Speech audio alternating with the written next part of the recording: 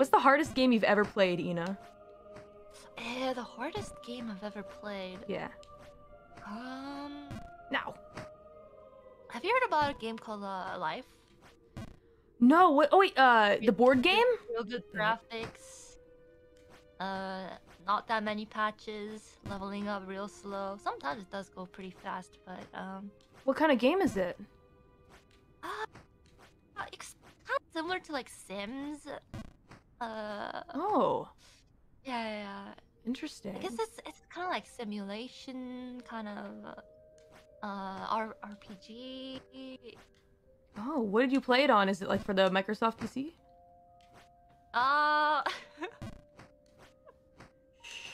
I don't even remember what console it was. Um, I, I think it was called the. For the PlayStation? Uh, Come on, man. started.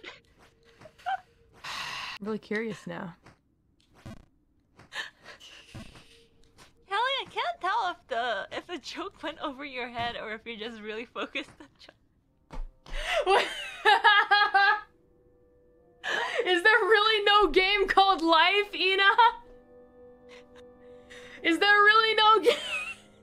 I was saying how life is just one big game, Calli. Holy shit! Was it on? No,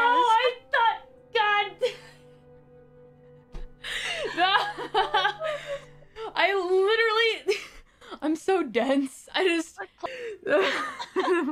For the Microsoft PC, you got me like excited. I was like, ooh, I want to play this game. I like Sims. Hey, you know, with the jokes today.